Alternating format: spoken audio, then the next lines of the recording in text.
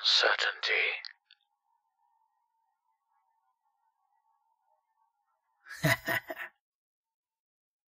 tick tock, tick tock. Click clock, click clock. Ding, ding. You want it? I bet you do. I bet you do. It's just too bad that you won't be getting it.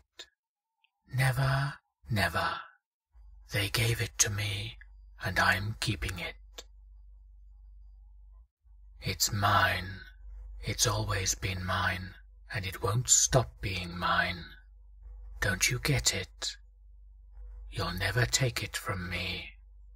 I'm not telling you how. Mine, mine, all mine forever.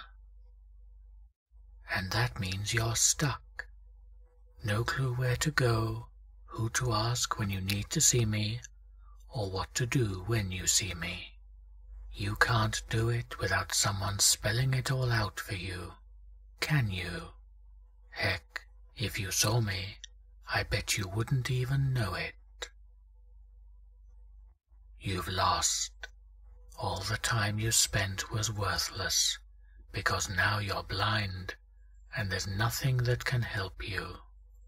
Wanna try anyways?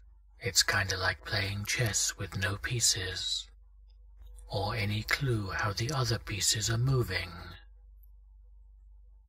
I'm coming to find you. I know who you are, you and your pathetic seeker friends. Don't bother trying to find me before I find you. You can try running away if you want, but it won't help. Well, I mean, in the long run it wouldn't. Actually, you could just hide out in another realm, if you understand what I mean. But I don't suggest it.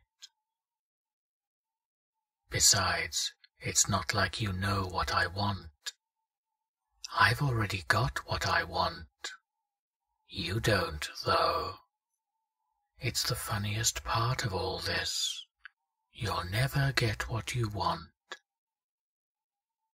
What you want is object 502 of 538. Are you certain you want it?